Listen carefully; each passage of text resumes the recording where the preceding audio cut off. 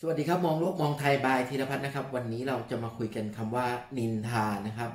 ทุกสิ่งทุกอย่างบนโลกใบนี้นะครับ ไม่สามารถที่จะหลีกเลี่ยงการถูกตำหนินินทาจากบุคคลที่ 3 ได้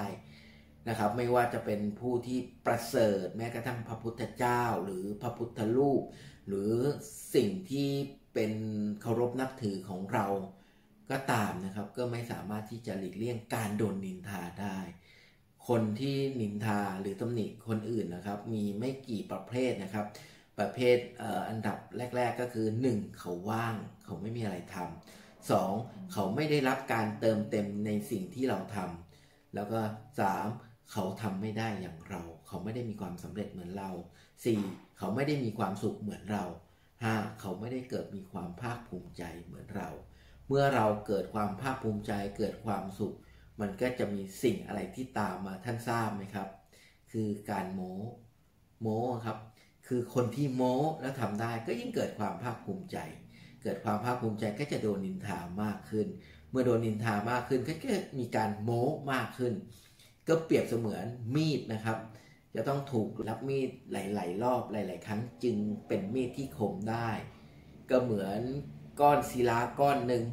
ที่จะเจรไนทำเป็นครก ที่มีคุณภาพที่มีคนต้องการ เพราะฉะนั้นจะต้องทุบสกัดขุดแซะไม่รู้กี่ครั้ง ไม่รู้กี่รอบจนนับครั้งไม่ถ้วน จึงเป็นครกที่มีบุคคลต้องการมากมาย ก็เหมือนกันนะครับ เมื่อคนที่ประสบความสำเร็จแล้ว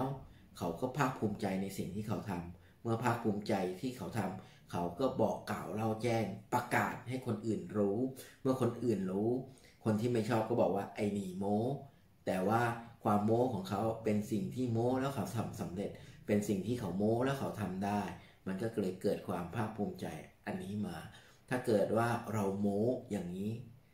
เราสมควรโม้นะครับ แต่ถ้าเกิดมีคนประเภทหนึ่งโม้แต่ไม่ทำโม้แต่ไม่รู้จริง โม้แต่ไม่ทำอะไรสักอย่าง อันนี้ต้องพิจารณา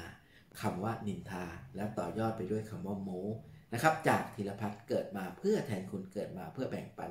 สวัสดีครับ